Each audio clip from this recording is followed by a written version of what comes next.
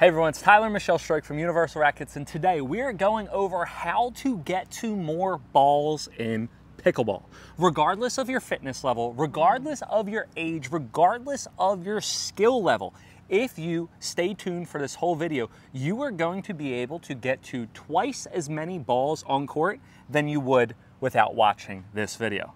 We're going to be going over tips and tricks regardless of athletic ability on how to get to more balls in pickleball. That means lobs, that means short balls, that means high balls, that means balls that you don't even think you can get, you'll be able to get. Perfect. Can't wait to hear this one. Let's get started. so the first tip that I'm going to give you that is going to give you twice as many balls is to always be on your toes once again, when you are playing pickleball, if you feel like you can't get to the balls, if you feel like you're too slow, check. Are, is your weight on your heels or is your weight on your toes? I want you to think, put your weight on your heels right now.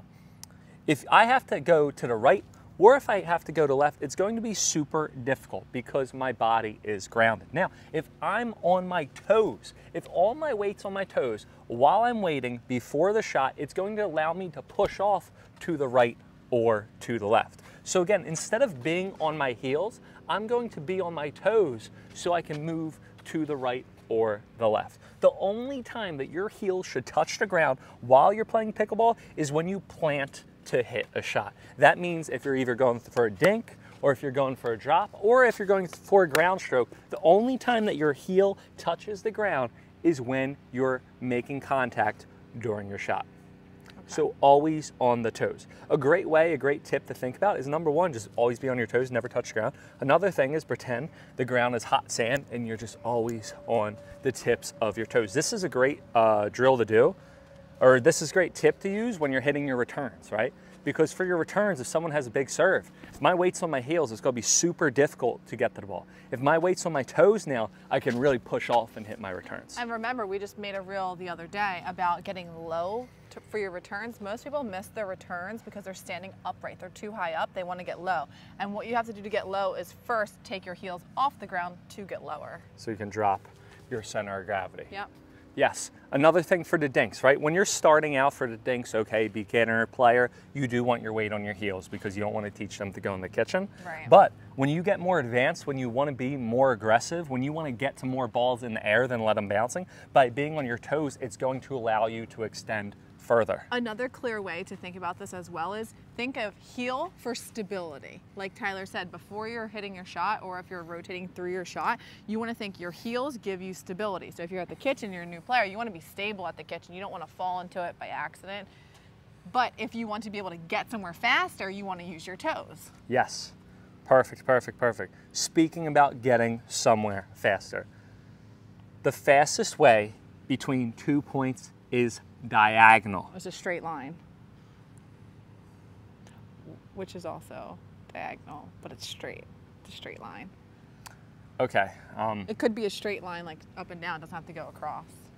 Okay. Well, getting back to it though. It's a straight if, line. Okay, thank you. If you can move diagonal two balls, you are going to cut the angle of the balls. I want to show you, okay? So if I have a forehand where I would typically go, where I would typically go is I would go out here and ah, I can't get to the ball. They hit such good angle. Or a backhand. If Michele hits me a backhand, hit me your backhand swing. Oh, I can't get to it, right? Instead of going side to side, I am going to move diagonally. Now, instead of going out wide to the forehand, watch what I'm, I'm going to do. Toss me a ball, Michele, out wide right here. Here we are, toss me a ball. Here's where I don't want to go. I don't want to go to the side. Watch what I want to do. Michele's going to toss me a ball. I'm going to move up to it. By moving up to the ball, it's going to cut the angle. It's going to get you to the ball way faster. Do it for the backhand real quick again. So you toss me two balls. You guys are super lucky we have tennis with Tyler converted to the pickleball court because this is all tennis work. Instead of going out to the side like this, I mean, that was the easiest feed ever. Uh, I mean, a 100-year-old grandma feed? could get it. But here you we are. Do it again. Feed? I'm going to bisect and move up to the ball. Oh, he's using so tennis language move now a too. diagonal. Okay, this is amazing for your returns. Instead of going to the side, I'm going to hit my backhand return here or my forehand return here. Can I see your paddle real quick? Uh -huh. I want you to think that you are going to always move in a V. So what I mean by that is instead of moving side to side, if I have a forehand out wide, right, ground stroke wherever, right, I'm going to move this way. If I have a backhand, I'm going to move this way. I'm always moving in a V now. You will be able to get to two times as many balls than you ever have before. So what do we go over? Always on our toes and we're moving in a diagonal. Guys, just stop what you're doing right now. End this video. Just keep kidding. Keep on watching This and go out so and play. valuable. You just got to twice as many balls with just two tips. I can't wait to use this tonight when I play women's. Seriously, like you will get to so many more balls that you think that you would think that you never Because I'm constantly like, Tyler, before. why can't I get to that ball? I feel like I can't move on the court. Like I feel like I'm like, is it me? Am I not doing enough agility drills? Am I just not a tennis player? Why can't I get to those balls? And it's because I'm not using this knowledge of getting straight to cut off the ball and hit the ball on an angle instead of going out wide or letting the ball do what it's trying to do before I take control of it. Yes. The toes for speed, the heels for stability, and if you want to get somewhere faster, you better be on your toes. Okay, so we got halfway through right now, and again, we already gave you two times as many balls. If we didn't, please let us know in the comments below because there's no way. I don't care if you are as slow as a turtle, you're going to get, going to get more to more balls than you ever have before. Mm-hmm. Okay. Now the next tip. Okay, the next tip is going to lead into our next tip after that tip, and that is do not let the ball come to you. You go to the ball. It is a type of mentality. You are not going to wait for the ball. You are going to go to it. Pretend the ball is a billion dollars, okay? Think about it. You're not going to just stand there and be like, ah, I'm waiting for it. You're going to go to it, okay? When you see how we met on the tennis court, when you see a beautiful uh, blonde woman on the other side, you're not just going to stand there and go like this. No, you're going to go run up to her and be like, hey, my name is Tennis with Tyler, aka now Pickleball with Tyler because we quit tennis, and I want to get like your phone number. Can I give you a, a tennis lesson? or a pickleball lesson or something like that, right? You're going to go to it, okay? So for this ball, this is what I don't want you to do. And even though you hit me in the last video, I won't hit you, I promise you, okay? Give me two balls. I'm gonna show you, I won't hit you. I'm gonna show you what not to do, okay? Toss me Forehand a or ball. backhand? Uh, forehand up here, right? So I'm waiting. Okay, you're not going to be able to get to as many balls. I'm gonna go straight this way, okay? Okay, So don't watch, move. this is what I want. I go to the ball. Boom. I am going to the ball. I am taking time away from my opponent. I am being more aggressive. By having the mentality that you are going to go to the balls and not let the ball come to you, you're going to be able to get to twice as many balls once again. Yeah. Any comments on that? Fire. Perfect. Okay. Now, the last tip, and this is more of a tennis tip, but it works, okay? I want you to go to every ball. I want you to go for every ball. Even if it's a ball that you think that you can't get, I want you to still try to get it, okay? Regardless of what ball, even if you see the ball so close up at the kitchen, it hits the net, goes over, I want you to try your hardest to get up to the ball.